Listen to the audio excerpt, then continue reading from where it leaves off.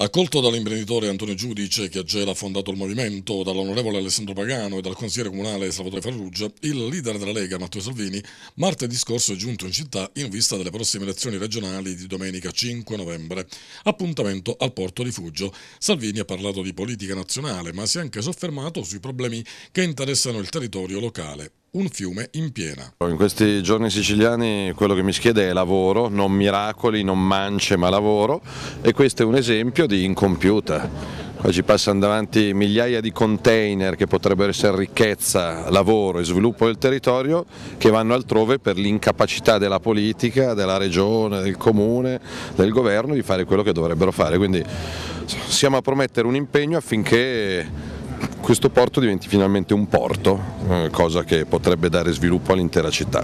Io non tolgo nulla ma aggiungo la possibilità di avere il buon governo che la Lega dimostra in tre regioni e mille comuni a 60 milioni di italiani e quindi a me piacerebbe che Regione Sicilia riuscisse a usare i fondi pubblici come li usano Regione Lombardia e Regione Veneto, che la sanità fosse migliore di quello che è, che le strade, oggi sono stato a Nicosia e mi sembrava di fare il rally Parigi-Dakar, nel senso che non ci sono delle buche ma dei crateri, in ferrovia da Trapani a Agrigento ci si mettono 9 ore, quindi io non vengo a offrire miracoli ma a garantire il buon governo che a differenza dei 5 Stelle la Lega offre a tanta gente da, da 20 anni.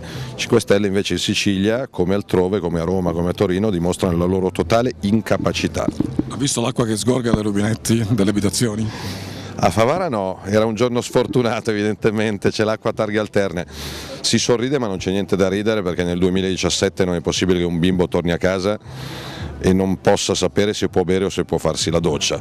Oltretutto con i siciliani che pagano l'acqua al triplo rispetto ad altre, quindi eh, ho chiesto a Musumeci normalità, guarda vinciamo domenica, poi da lunedì senza miracoli adoperiamoci per riportare alla Sicilia quello che merita di essere con normalità, senza cose eccezionali anche a Gela, facendo cose normali.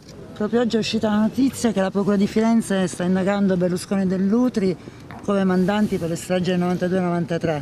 Anche Berlusconi è un impresentabile. Inchiesta ridicola e soldi pubblici sbattuti via.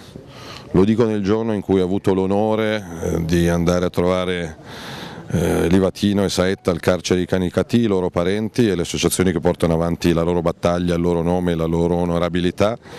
E quindi spero che ci siano magistrati che la smettano di fare politica con, in, con indagini inesistenti. Tornando un attimo in ambito locale, il suo commento sulla chiusura dello stabilimento? Il lavoro prima di tutto, questo vale per l'Ilva di Taranto come per lo stabilimento di Livorno. Eh, mi domando perché il governo abbia avuto tanta attenzione da qualche parte e tanta meno attenzione da altre parti e perché in regione qualcuno abbia dormito per troppi anni.